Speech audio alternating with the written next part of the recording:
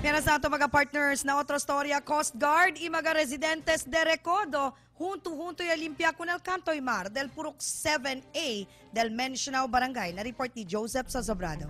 Report del Pueblo.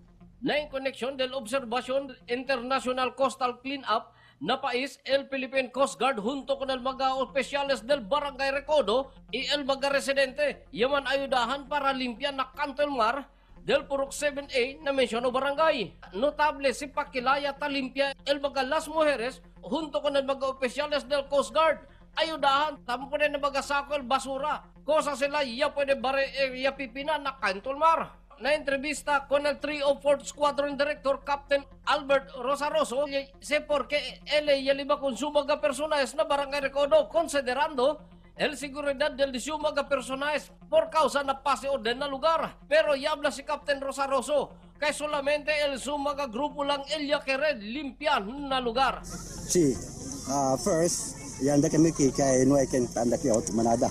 Yes, A las demás talla todo na Bolivar. Napensa na Bolivar, talla todo mga estudyante, other ah, government units and other non-government units. Pero akin na na Recodo, siya na miedo anda. So we try our best to come here in the Visible el mga residente del barangay junto con el kagawad Toto Granada y también con el capitán del barangay Wahib Iba.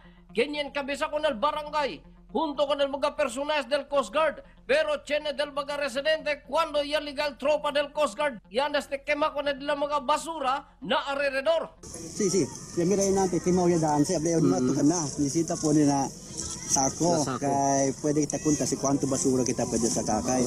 Na Ocean Conservancy, Tiyan kami record dese. Todo klase de basura ya buta para pwede sila kami siya man study. So ara punta kami man sort out kami sort out kami kani sa todos cosa cosa el manada basura kabuta el mga gente na mar. Kay very important siya para na study del Cuando ya acaba limpiar na lugar, ya dale lectura también si Captain Rosaroso con el mga residente na lugar acerca con el limpieza na de la coastal area.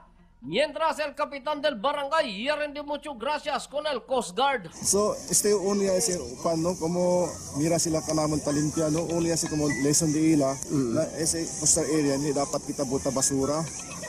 Para hindi amon mga residente aki dapat elaki sila klase mga coastal area man pangyat kita no mga kita buta basura ikura kita limpia di aton coastal area Nam yung background tapo des de Mira ahora. Este mga momento, el mga residente de Barangay Recodo ya sale para anda aquí en la coastal area para conducir un programa del gobierno nacional eh, que se llama International Clean Up. Desde aquí en Barangay Recodo, Joseph Sosobrado, 105.9 News FM, imidyo mo. Report del Pueblo.